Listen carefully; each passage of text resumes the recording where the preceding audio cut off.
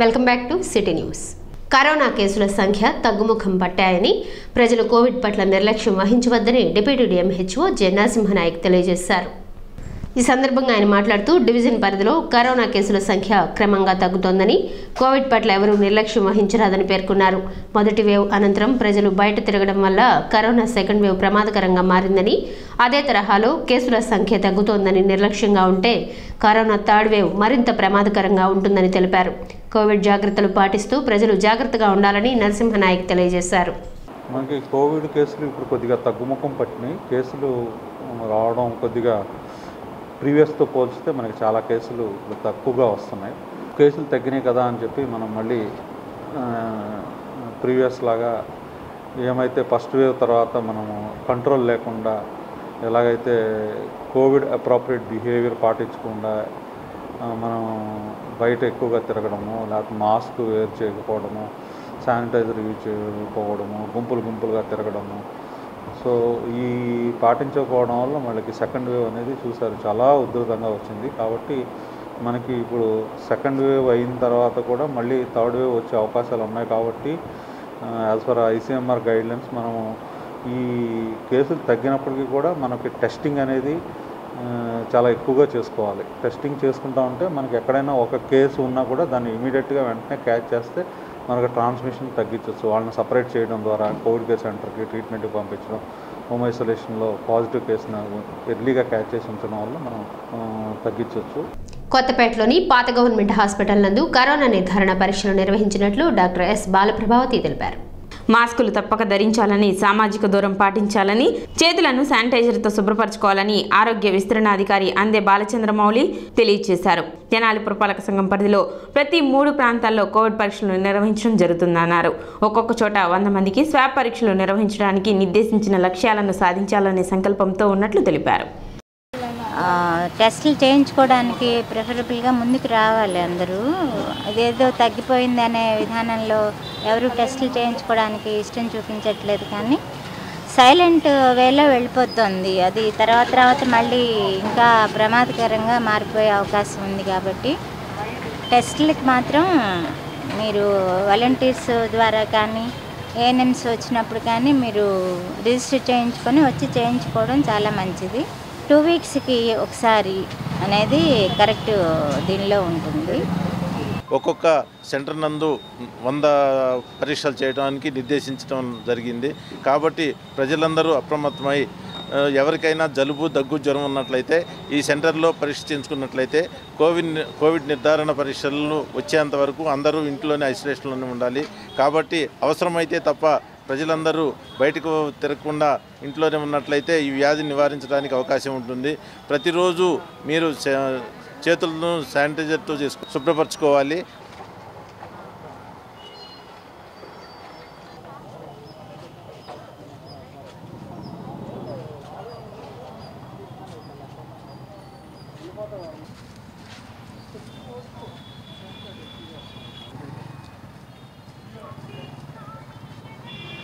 ఈ కార్యక్రమంలో వైద్యులు doctor M Anusha doctor A Chandini doctor K Jalandhar staff nurse Rohini T Parvatidevi lab technician M Rambabu ANM Lakshmi Tulasi Akkamma Asha కార్యకర్తలు తదితరులు పాల్గొన్నారు.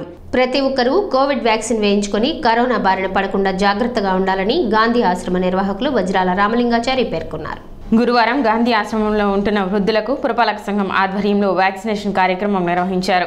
ఈ సందర్భంగా ఆశ్రమ నిర్వాహకులు వజ్రాల రామలింగాచారి మాట్లాడుతూ కరోనా ఉధృతి ఎక్కువగా ఉన్నందున ప్రతి ఒక్కరూ కోవిడ్ వ్యాక్సిన్ వేయించుకోవాలని సూచించారు. ప్రభుత్వం అందిస్తున్న వ్యాక్సినేషన్ కార్యక్రమాన్ని నలభై ఐదు సంవత్సరాలు నిండిన ప్రతి ఒక్కరూ సద్వినియోగపరుచుకొని ఆరోగ్యంగా ఉండాలని రామలింగాచారి తెలిపారు. మానవుడు ప్రతి మానవుడు కూడా సమాజంలో జరుగుతున్నటువంటి సమస్యల్ని తెలుసుకొని డాక్టర్లకి సహకరించాలనే ఉద్దేశంతో నేను ఈ విషయం తెలియజేస్తున్నాను.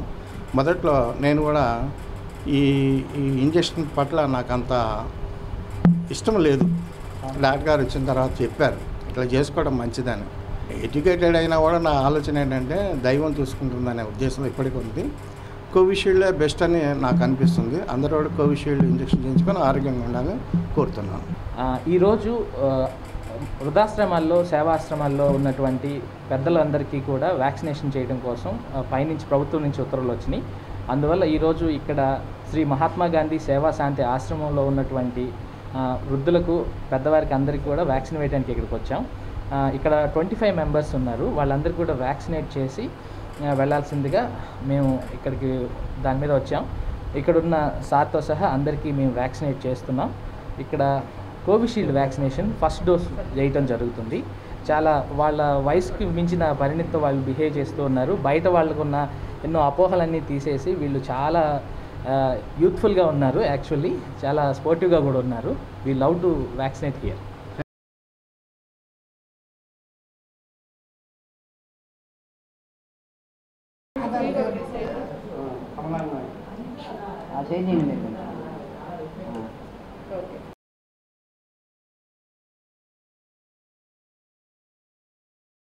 కార్యక్రమంలో డాక్టర్ సందీప్ వైద్య ఆరోగ్య సిబ్బంది పాల్గొన్నారు. కేంద్ర ప్రభుత్వం రైతులు పండించే పంటలకు ప్రకటించిన మద్దతు ధర వ్యవసాయ రంగాన్ని నిర్లక్ష్యం చేసే విధంగా ఉందని రైతు సంఘం జిల్లా ఉపాధ్యక్షులు ములకా శివసాంరెడ్డి పేర్కొన్నారు. ఈ సందర్భంగా ఆయన మాట్లాడుతూ కేంద్ర ప్రభుత్వం రైతులను హేళన చేసే విధంగా పంటలకు మద్దతు ధరలను ప్రకటించిందని అన్నారు. రైతులు వ్యవసాయ రంగం బాగుపడే విధంగా కేంద్రం ప్రకటించిన మద్దతు ధరలు కనపడలేదని ఆరోపించారు. రైతుల్ని హేళన చేసే విధంగా వ్యవసాయ రంగాన్ని నిర్లక్ష్యం చేసే విధంగా ఉన్నాయి తప్పితే రైతులు వ్యవసాయ రంగం బాగుపడాలనే ధ్యేయంతో ఈ మద్దతు ధరలను ప్రకటించినట్టు కనపడటం లేదు. అందుకనే ఆంధ్రప్రదేశ్ రైతు సంఘం ఈ యొక్క ధరల్ని ఈ ప్రకటనల్ని వ్యతిరేకిస్తున్నాం.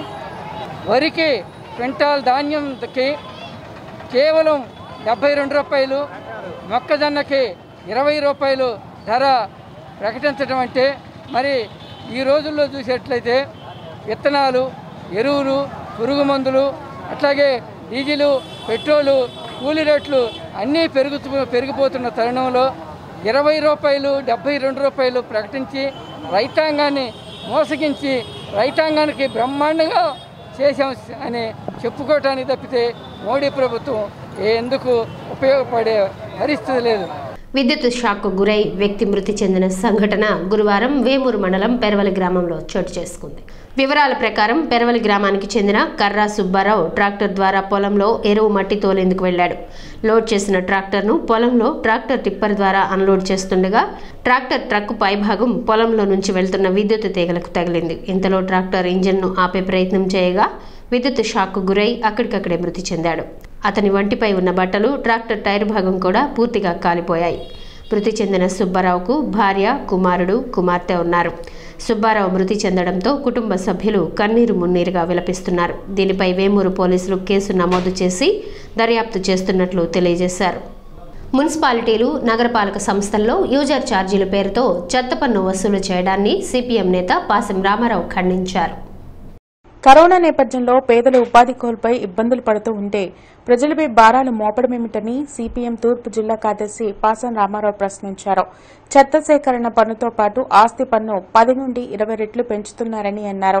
గతంలో అద్దె విలువ ఆధారంగా పన్నులు విధించేవారని ప్రస్తుతం ఆస్తి విలువ ఆధారంగా పన్నులు వేసేందుకు కొత్త జీవోలు విడుదల చేయడం సరికాదన్నారు.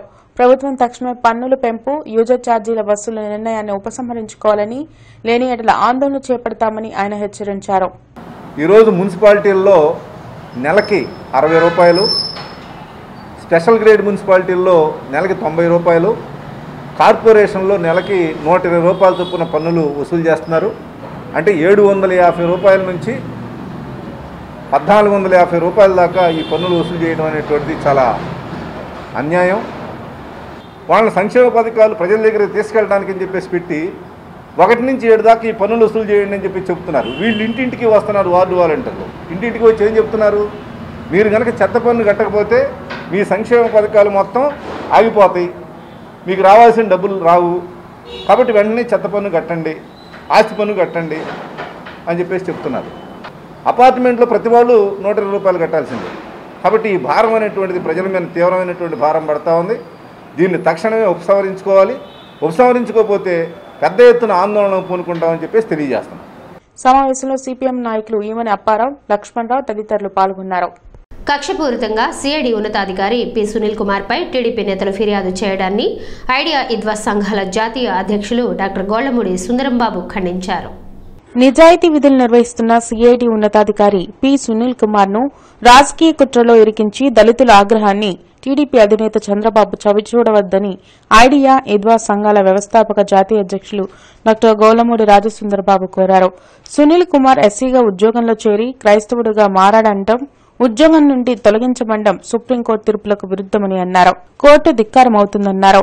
ఐపీసీ నూట యాభై మూడు ఏ రెండు వందల తొంభై ఐదు ఏ ప్రకారం అతనిపైన క్రిమినల్ చర్యలు తీసుకోవాలని ప్రభుత్వ ఉద్యోగం నుంచి తొలగించాలని చెప్పేసి కక్షపూర్తంగా ఫిర్యాదు చేయించడం అనేది తగదు తగదు తగదు.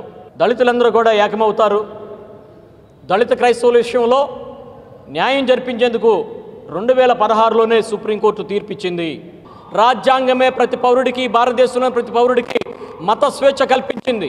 ప్రతి పౌరుడు తనకి ఇష్టం వచ్చిన మతాన్ని స్వీకరించవచ్చు ఇదిగో మీ మతంలో ఉన్నటువంటి అంటరాంతనాన్ని భరించలేకే మీరు మమ్మల్ని దేవాలయాల్లోకి రానికపోతేనే మేము వేరే దేవాలయాల్లోకి వెళ్ళాము. ఆ విషయాన్ని మీరు మర్చిపోతున్నారు. ముందు మీ మతాన్ని మీరు సంస్కరించుకోండి. మానవులందరూ సమానం కులాలన్నీ సమానం అని అంబేద్కర్ గారు రాసిన రాజ్యాంగాన్ని గుర్తు చేసుకుని దాన్ని అవలంబించడానికి ప్రయత్నం చేయండి. కానీ రాజ్యాంగానికి మీరు వక్ర భాష్యం చెప్పడం తగదు అని చెప్పేసేసి మీకు మేము హెచ్చరిక ఇస్తున్నాం. సమావేశంలో భీమసేన సేవాదళ రాష్ట అధ్యక్షులు వల్లపు నీలాంబరం మాల మహానాడు రాష్ట్ర నాయకులు Battula Anil SC welfare association రాష్ట్ర ప్రధాన కార్యదర్శి మేడిత బాబురావు ఐడియా నాయకులు తూమాటి శరత్ తదితరులు పాల్గొన్నారు. ముఖ్యమంత్రి జగన్ కేవలం తనపై ఉన్న కేసులను మాఫీ చేసుకునేందుకు మాత్రమే ఢిల్లీ వెళ్తున్నారని టీడీపీ గుంటూరు లీగల్ సెల్ అధ్యక్షులు చుక్కపల్లి రమేష్ పేర్కొన్నారు. రాష్ట్రానికి ప్రత్యేక హోదా తీసుకొచ్చేందుకు ముఖ్యమంత్రి జగన్ ఎటువంటి ప్రయత్నం చేయడం లేదని టీడీపీ గుంటూరు లీగల్ సెల్ అధ్యక్షులు చుక్కపల్లి రమేష్ ధ్వజమెత్తారు. రెండేళ్ళ పాలనలో రాష్ట్రాన్ని అధోగతి పాలు చేశారని అన్నారు. ప్రభుత్వాన్ని విమర్శిస్తే వారిపై కేసులు బనాయించడం దారుణమని తెలిపారు. జగన్ రెడ్డి తన బెయిల్ కోసము లేకపోతే తన అక్రమాస్తుల సంరక్షించుకోవచ్చు దాన్ని ముఖ్యమంత్రి కొనసాగటానికి ప్రత్యేక హోదాన్ని తాకట్టు పెట్టాడు. ఈరోజు ఢిల్లీ యాత్ర చేస్తూ ఉన్నాడు. తప్పితే ప్రత్యేకవాద సాధించే ఉద్దేశం లేదు. అతనికి వాళ్ళ ఎంపీలకు కానీ వాళ్ళకి కానీ లేదు. ప్రతిపక్షాలు అదే ఉంటేనో అది అడిగితేనే అడిగిన వాళ్ళని గొంతులు నొక్కుతారు అక్రమ కేసులు బనాయిస్తున్నారు వీళ్ళ మీద. అన్ని వ్యవ- రాజ్యాంగ వ్యవస్థలు అన్నింటినీ బ్రష్ పట్టించారు ఈరోజు. అక్రమ కేసులు పోలీసులు పెడతారు వాటి కనీసం సోషల్ మీడియాలో ప్రశ్నిస్తే వాళ్ళ మీద అక్రమ కేసులు పెడతారు. లేకపోతే ఏదైనా కేసులు పెట్టి ఈ జనాలందరినీ భయభ్రాంతులు చేసి ఈ పా ఈ జగన్ రెడ్డి పరిపాలనకు పనికిరాడు ఒక నయవంచకుడు ఈ ఏ విధంలో అన్ని విధాల్లో ప్రభుత్వము గవర్నమెంట్ అందు వైఫల్యం చెందింది. సమావేశంలో టీడీపీ నాయకులు కంచర్ల శివరామయ్య దయారత్నం పాల్గొన్నారు. సిటీ న్యూస్ ముగించే ముందు ముఖ్యాంశాలు మరోసారి.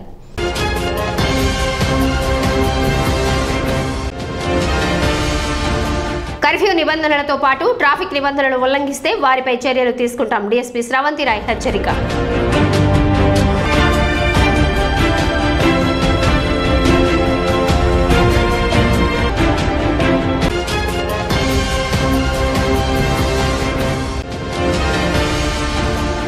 కేంద్ర ప్రభుత్వ ప్రజా వ్యతిరేక విధానాలను నిరసిస్తూ సిఐటియు ఆధ్వర్యంలో నిరసన.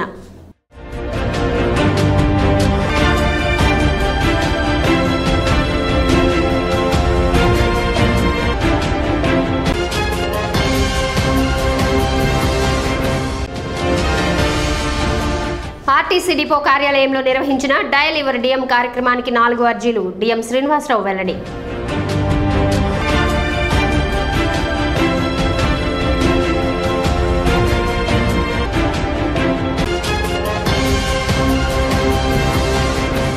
సిటీ న్యూస్ ఇంతటితో సమాప్తం. నమస్కారం.